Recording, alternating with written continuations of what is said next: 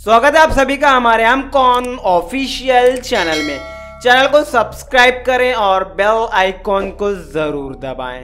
Bharatiya Janata party के तेलंगाना निजामाबाद से सांसद धर्मपुरी अरविंद ने बैरिस्टर असदुद्दीन अवैसी के खिलाफ विवादित बयान दिया है। बीजेपी सांसद धर्मपुरी अरविंद ने धमकी भरे लहजे में कहा कि मैं असदुद्दीन अवैसी को किरण से उल्टा लटकाकर उनकी दाढ़ी काटूँगा।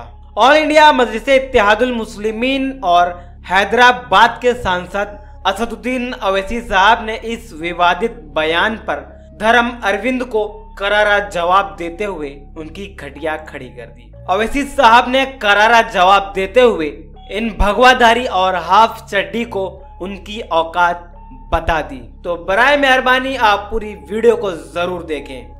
और ये संघ परिवार के लोग इसको मार देंगे। मारो ना।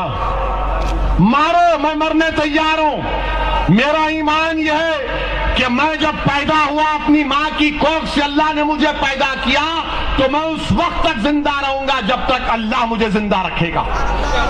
और जब अल्लाह नहीं चाहेगा, चले जाऊँगा। मुझे तुम मारो, मैं शहादत चाहता हूँ। मैं शहादत चाहता हूँ, मारो। तुम में अगर हिम्मत है तो ये बबर बच्चा मत दो मुझे। मैं अकेला फिरता हूँ, अकेला फिरता रहूँगा।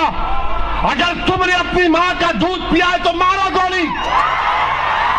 मैं मरने तैयार हूँ। मैं भी चाहता हूँ कि जब अल्लाह के पास जाऊँ तो मेरे अमाल तो कुछ नहीं है। कम से कम मेरी शहादत सरकार के सदके में मेरे लिए बाज मफरत बनेगी।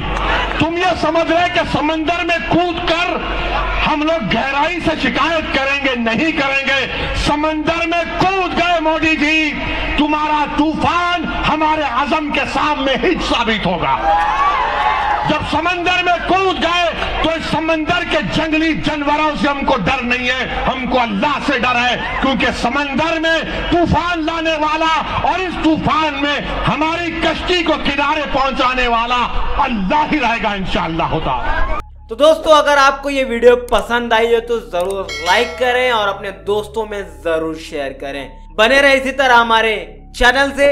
इसी के साथ, जय भीम, जय मीम, जय हिंद।